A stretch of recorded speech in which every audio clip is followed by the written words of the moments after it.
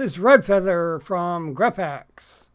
In this Krita video, we'll be showing you how to reposition text by changing its perspective and how to place a curve in text or deform the text using vector tools. The text items you are seeing were created using this process.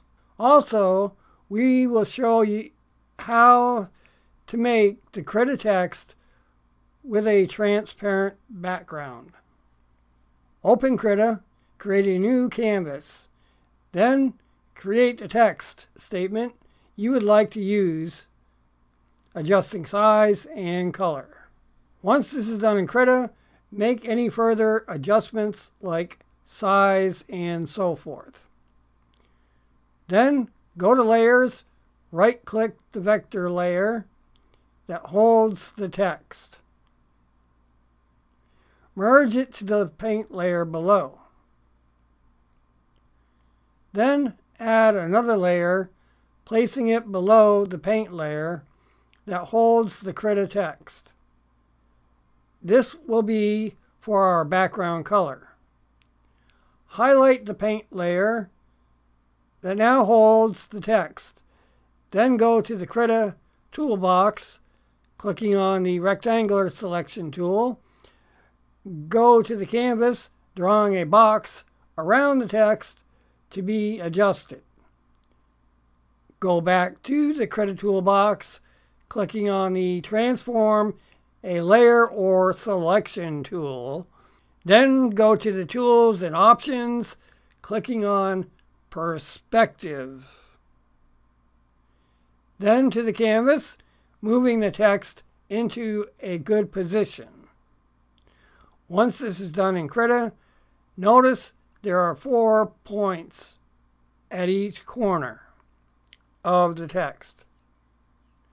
Grabbing one of the points, pushing or pulling the points, changes its perspective, allowing you to place the text sideways or even lay it down. Keep doing this until you have your Krita text laid out and positioned how you would like. Once this is done in Krita, go to Layers and highlight the paint layer for the background color. Placing the color you would like. Examine the text if needed. Highlight the layer that holds the text and make further adjustments if needed. Once you are happy, right-click the layer and merge it with the Krita paint layer below. Now let us create the text statement for the bottom half of our Krita example. You can resize first if needed by utilizing the Krita Transform a Layer or and Selection tool. Once this is done, merge it with the paint layer below. Once this is done in Krita, we can reorganize our text statements how we would like, although there is some caution to be taken here. Because we now have a few Krita text statements on our layer, while arranging them, make sure to leave enough room so as you can grab one statement without the other.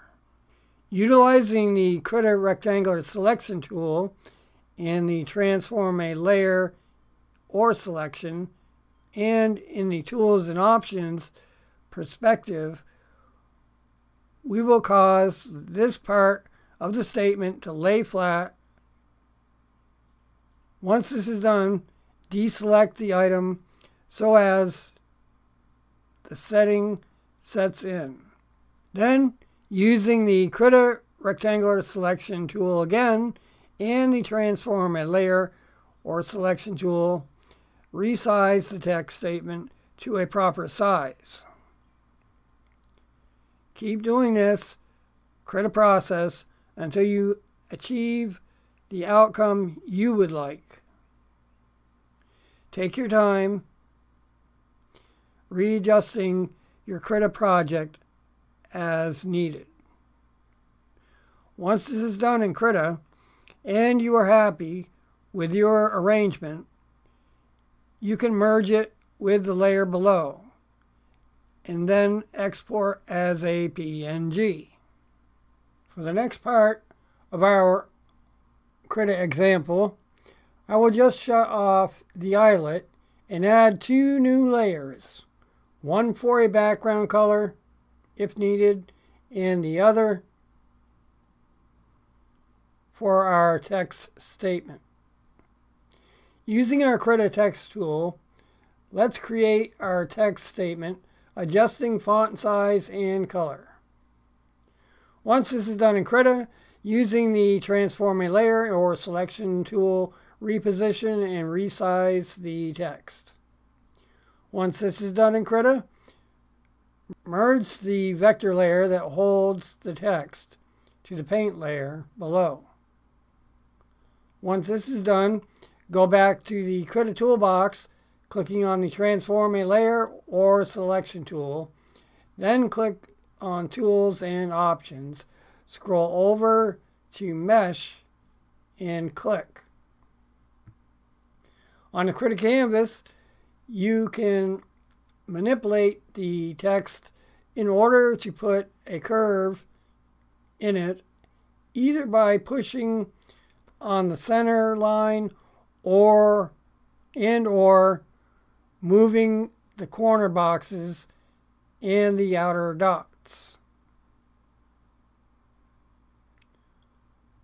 Once this is done, off click by clicking on the brush tool in the Krita toolbox, click back on the transform a layer or selection tool, readjusting the size if needed. If you are happy, it is time to create our next set of text, adjusting the Krita font size and color. Once this is done in Krita, using the Transform a Layer or Selection tool, resize and position the text just to get an idea of what it will look like. Off click by clicking on another tool like the brush tool, but keep in mind we are still on the Krita vector layer and some tools will not function here unless they are vector related. But this is what we want. Once this is done in Krita, in the toolbox, click on the Edit Shapes tool. Then go to the canvas, hover over one of the text letters, and right click. Notice the box that appears saying To Path. Click on it. I know this looks a little odd, but it's not really. If I off click by clicking on transform a layer or selection tool, we can see Krita has just recreated our text. Next, in the Krita toolbox, click on the rectangular selection tool and to the canvas, draw a box around the new text. Then using the Krita Transform a layer or selection tool, resize the text to a similar size we previously chose. Once this is done in Krita, click back on the Edit Shapes tool. Now this, as you can see, makes more sense. Notice there are plenty of points to move around, as well as outer dots that can be that can also help deform or manipulate each Krita text letter. You may find in some situations where there appears to be too many points or not enough. By clicking on the Tools and Options, you can add or remove points. Once you are done, off-click by clicking on the Krita Transform a layer or a selection tool. If you need to make further adjustments, click back on the Edit Shapes tool. If you are happy how your Krita project looks, right-click and merge it to the paint layer below. Once this is done in Krita, make any final adjustments by utilizing the rectangular selection tool and transform a layer or selection tool.